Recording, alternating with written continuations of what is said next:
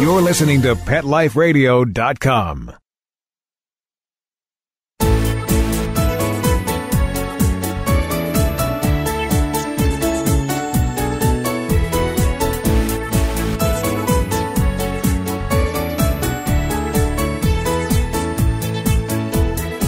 Hey there, pet parents! Welcome to the Doggy Dish on Pet Life Radio. I'm your host, Kristi Vaughn, and today's show is super exciting because we have a very special guest with us. I'd like to welcome Amanda from Doggy Dog Madness and also mom to Allie, the blogging boxer. She is going to share some 4th of July safe food tips with us for the upcoming holiday. We'll get down to business right after these messages from our sponsors. We'll be right back right after these messages. Stay tuned.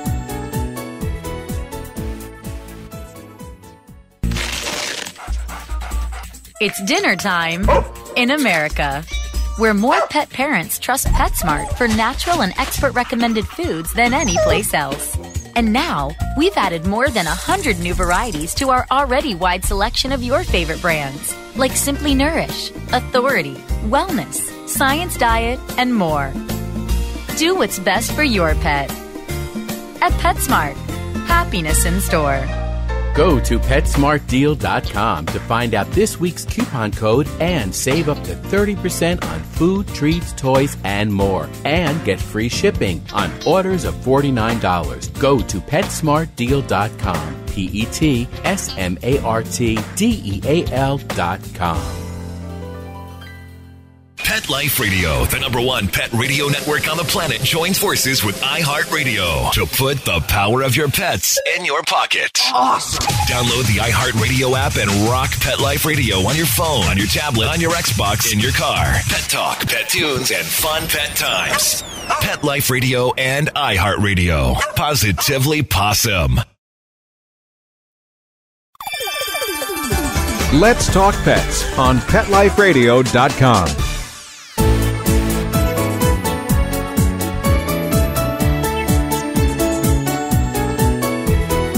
Welcome back to the Doggy Dish on Pet Life Radio. I'm your host, Kristi Vaughn, and I'm here with Amanda from Doggy Dog Madness, who is going to share some food do's and don'ts with us for the upcoming 4th of July holiday.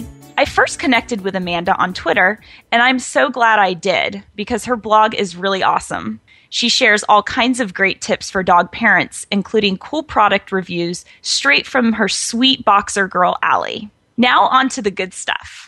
Tis the season of grilling and outdoor activities. We all know that there are specific foods that are not safe for your furry kids. But how do you know what is safe and what isn't safe when you're grilling those hamburgers and hot dogs? Amanda's going to share some tips with you so you can enjoy this summer holiday with your pups, but also keep them safe.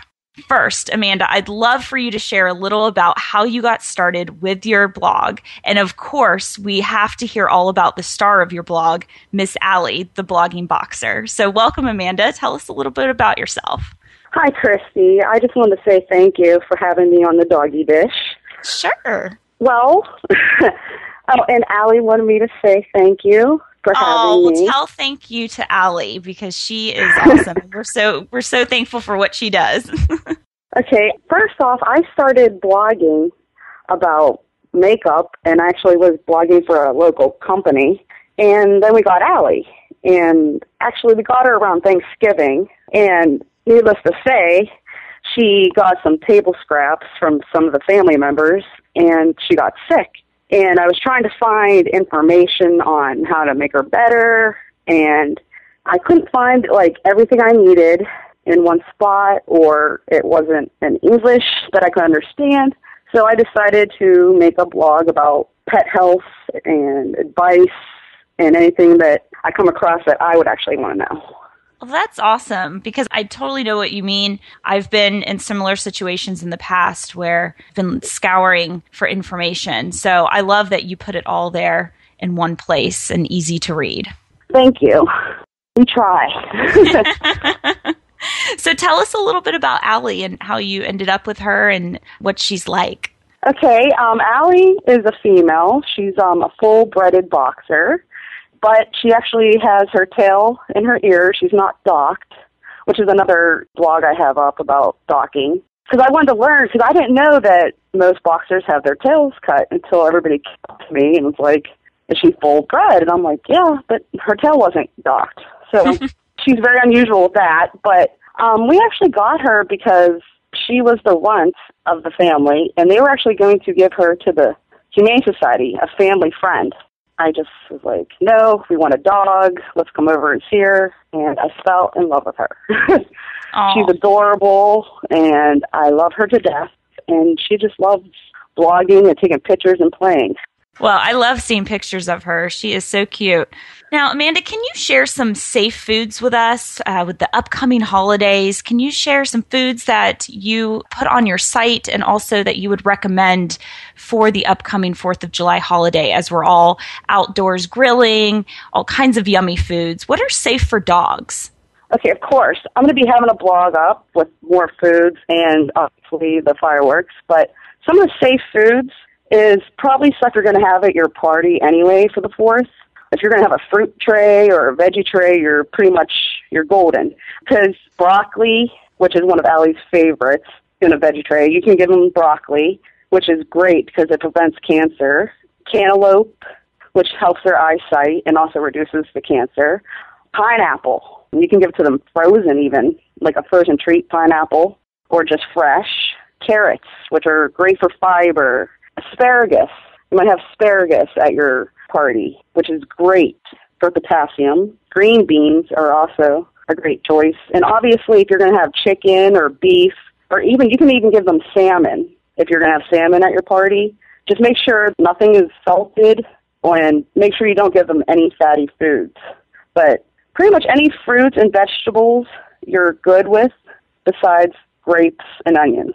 Okay. For fruits and vegetables. Okay. What if I want to sneak a piece of hot dog to my pup? Is no, okay? no. Why is no? Why I'm going to smack that okay? hand.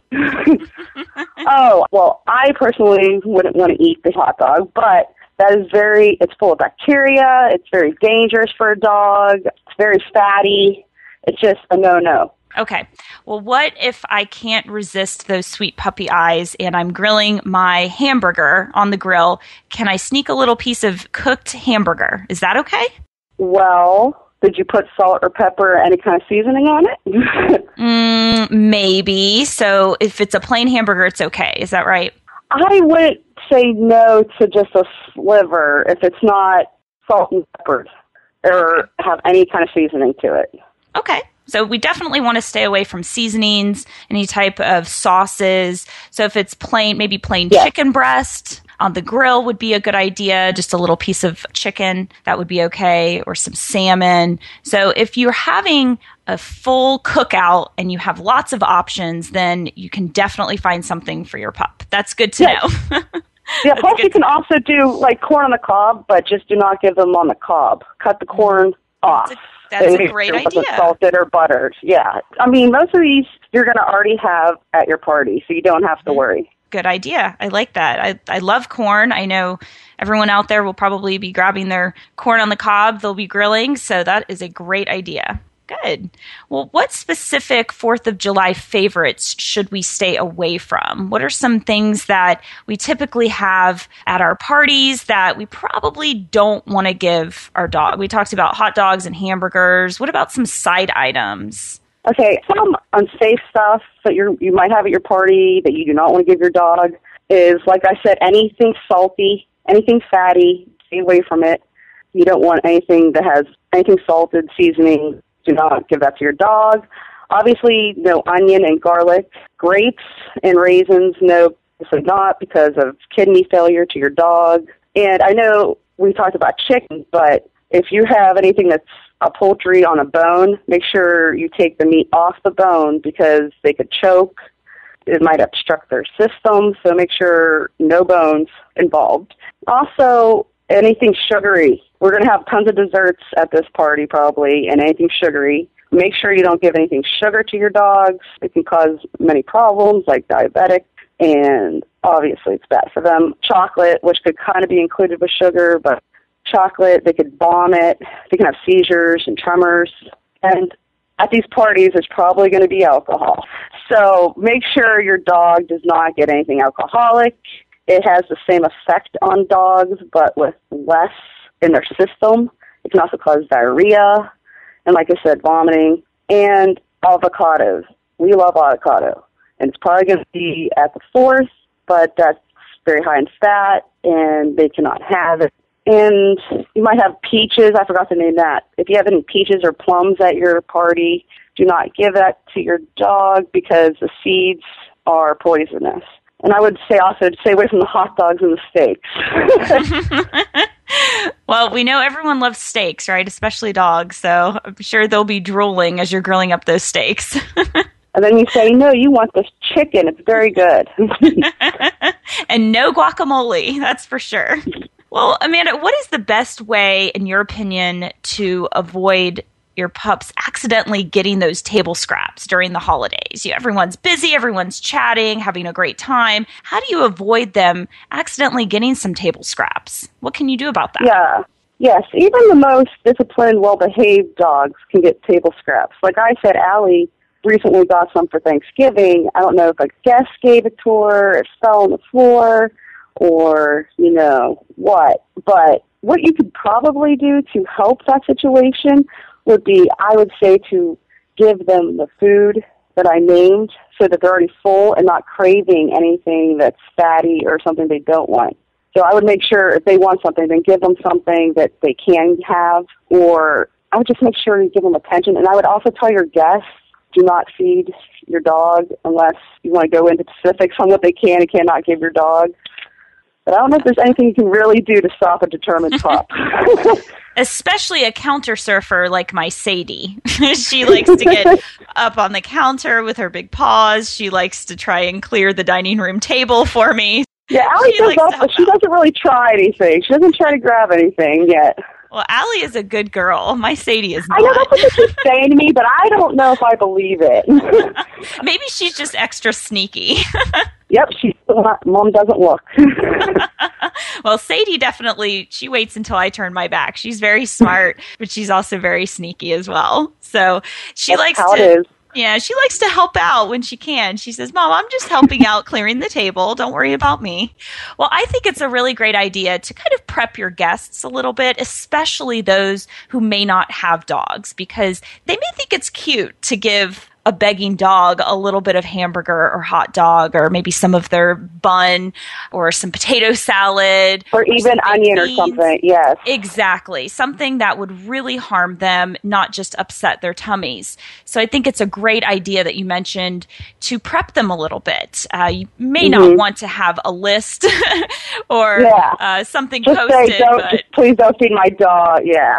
Right and and some people think that's it's funny or it's cute or they just don't know mm-hmm. any better and it really can be harmful. So i think it's great to make people aware and hopefully those who are listening will know this before they go to their fourth of july parties and they'll be a little bit more careful and maybe ask their host or the owner of the dog to provide something for them that they can feed the dog if they really want to. So i think that that's a great idea to mention that now, what do you think is the biggest mistake people make with holiday foods and their pups? What is the biggest mistake that, that you've heard about, or maybe you've actually made yourself that people make with holiday foods? There's obviously poisonous food, and it could cause dangerous and very life threatening, and it could upset your dog's stomach.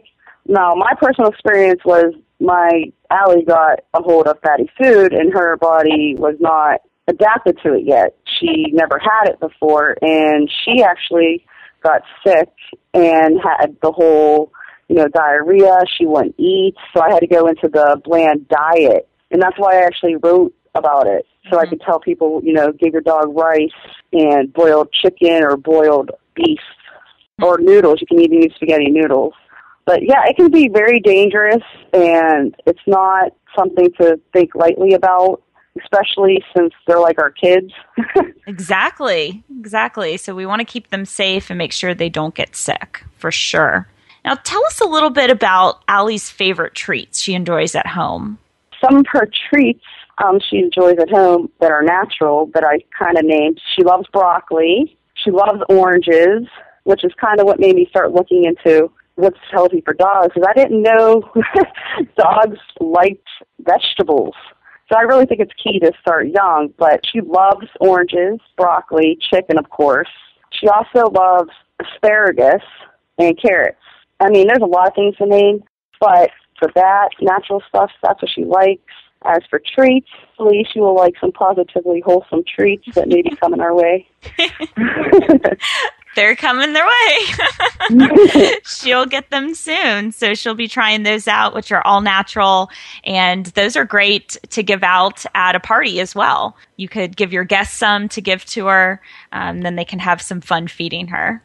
And you know what? She also loves eggs. I shouldn't mention that. She loves eggs. You know, our dogs do too. They love eggs, and you could feed them a hard boiled egg, maybe chop it up on top of their own food, or just give mm-hmm. them little pieces of a hard boiled egg or scrambled egg without any butter or oil, of course. But yeah, eggs are really good. It's a great source of protein for dogs. They even say you could give them a shell, but I'm not really keen on that. You know, I mentioned something about that on one of our previous shows that some recipes for dog treats actually call for the entire egg. And yeah, because it's good for them.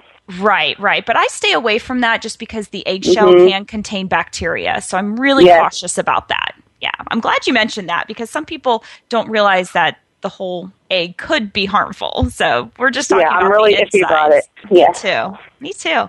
All right. Well, it is time for us to take a quick break. So we'll be right back after these messages from our sponsors. Sit, stay.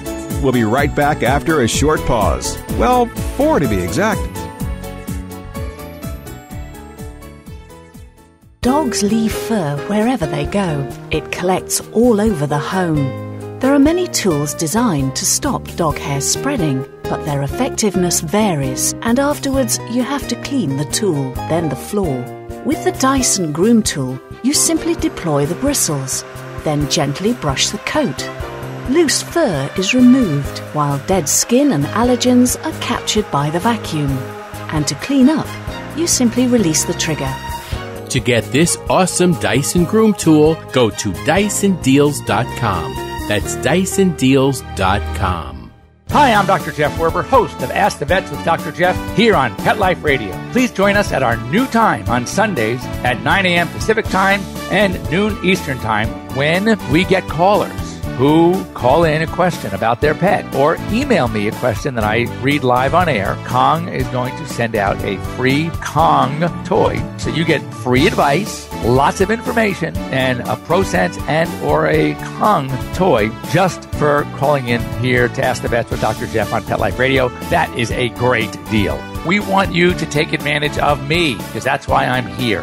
Every week on demand, only on PetLifeRadio.com.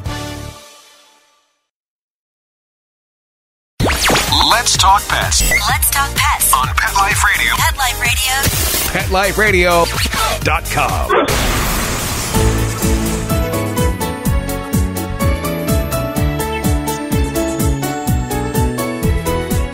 Welcome back to the Doggy Dish on Pet Life Radio.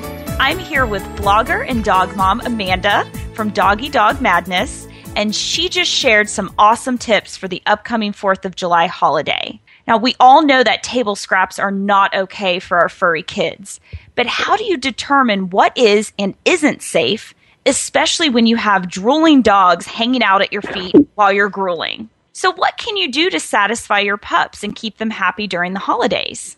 I think the best thing you can do is to make your own simple but yummy healthy treats for them to enjoy while you're chowing down on your own delicious people food we can't leave them out, especially during the holidays, right? So I'd like to share an easy chicken jerky recipe with you. And as a side note, if you plan on making your own dog treats, it's a good idea to invest in a food dehydrator. You should find a fairly inexpensive one online, and these are wonderful for making your own jerky. Now, you may ask why you should make your own jerky. Well, because it's much better than buying it from the store and not knowing exactly what's in it or where it's made. Okay, so back to the recipe. Now, all you need for this recipe is chicken. That's it, just plain chicken breasts. You don't need any spices or sauces for this super healthy and delicious treat. Now, if you don't have a dehydrator, but you still want to make your own jerky, you're in luck. if you have an oven, you can make jerky. So all you're going to do is preheat your oven to 200 degrees Fahrenheit and then lightly coat your baking sheet with nonstick spray or my personal favorite, coconut oil. And now there's actually a, a nonstick spray out there made with coconut oil. And I just saw it the other day at the grocery store. So check it out next time you're shopping. It's super healthy and it's really easy to use.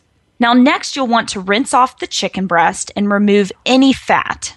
You'll slice the chicken with the grain, which will help make the jerky even chewier for your dog. These slices should be very thin, about one eighth to a quarter inch in thickness. Place the strips on the baking sheet and then bake for approximately two hours. You'll remove them from the oven and then cool on a wire rack until they're completely cool.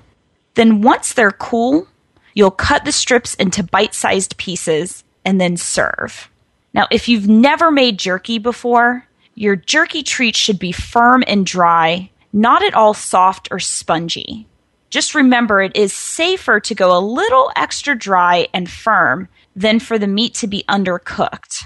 Now, a little tip for cutting them it's really easy to use a pizza cutter to cut them instead of a knife. Don't want to cut yourself either, so stick with the pizza cutter. Now, some tips for storing these treats. If you happen to have any leftovers, which you probably won't, you'll want to store them properly. And you can store them in the refrigerator for about three weeks or you can freeze any remainder for about eight months. Now remember, since this jerky doesn't contain any preservatives, it won't last as long as regular store bought jerky. So you will want to refrigerate or freeze. You can also experiment with different meats if your dog doesn't like chicken or has an allergy. Now, Amanda, have you ever made jerky for Allie? No, but I am very intrigued. and you see how easy it is to make. It is, apparently. Well, does she like chicken? Of course she does. She's drooling in the background. what about other meats? Have you ever experimented with giving her some other meats? Um, as a jerky or as anything? Or just as anything? She has, she's had a little bit of beef and she's had duck, I think lamb, I want to say. That's it. Okay. Well, just know that you can experiment with different types of meat with the jerky and it's so easy to make. And then you have peace of mind knowing that you've made it and there's nothing scary in it because we've all heard about the jerky mm-hmm. crisis out there from the jerky coming from China and how so many dogs are getting sick. So it's really a great idea, especially during these holidays, to have something easy on hand that you can share with your dogs so they avoid getting sick from something that you're serving at your party. Amanda, what about frozen treats? I know we've talked about frozen treats on some of my other shows. Have you tried any frozen treats to help keep Allie cool and hydrated during the warm months? Yes, she has. She has tried two of your frozen ideas. One was the banana, that you cut the banana and put peanut butter on top and freeze it. She loves banana and she loves peanut butter, and she was obsessed with it. So you get a treat and it hydrates them, and it's like a new texture. Also, I want to instead of just drops they're used to, it's a new texture for them, and they love that. I also have tried your great idea. I love this. You put a vegetable in your ice tray with water. I put carrots in the ice tray, and it's a frozen treat they can have in the summer. It cools them down, and it's also good for them and what I love is Allie plays with it and then she eats it. So she keeps them busy. It's a healthy treat. Oh, that's great. But, um, I'm so glad she loved it. The yogurt strawberry ones I still have to try, but I am going to try the yogurt strawberry frozen recipe. Oh, great. Yes, those are a huge hit at my house. They're so easy to make. If you have strawberries or any other safe fruits on hand, plus yogurt, plain non fat yogurt, which I like to use Greek yogurt because it's a little bit thicker. Mm-hmm. When you try it for Allie, try to get the plain Greek yogurt, and it's really easy to spread onto the piece of strawberry and then just freeze it for a couple of hours. It's really easy and they love it. It's almost like a frozen yogurt, like a froyo treat for dogs, but it's so healthy. And I can't believe, you know, not everyone does it because it's just the easiest thing. It doesn't take any time at all. And they think they're getting something really special. what I loved about these, these were all easy and she loved them and I made them and I know what's in them mm-hmm. and there's nothing bad. And what I think is great is the fact that you can even do this for the fourth. I mean, you probably have most of these items, so you can ha- give this to your dog for a little dessert on the fourth when you guys are having your cake or chocolate Absolutely. And that way they won't feel left out because I like to include yes. my dogs in everything we do. So that way they feel like they're getting something extra special and sweet because I really do think that dogs can determine flavors. I think they mm-hmm. know the difference between savory and sweet. And so when we're having our dessert, I think they should have dessert too. Yeah, they don't want to be jealous. no, no, no. And you can make something very patriotic out of these treats as well to go along with the rest of your treats and your own human and people food. You can make the yogurt covered strawberries into you know red and white and you could even do the same with blueberries to add oh, in the blue. That's a great idea. So that way you don't have to interrupt your decor for the 4th of July. You can have the special doggy treats out.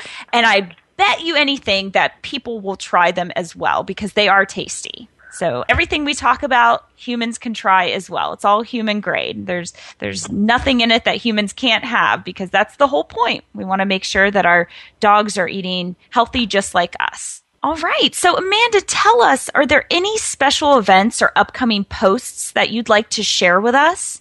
On Doggy Dog Madness, we're going to be having obviously how to keep your dog safe and calm for the 4th of July, which will include some of these foods that we're talking about. And I'm going to have some pictures of her eating some of the frozen treats, so you can check that out. And also, I'm going to be having a post on Pawsitively Wholesome because we're going to be getting some of her lovely treats. Those are some blogs coming up if you want to And plus, we're going to have like a summer how to keep your dog cool and safe in the summer.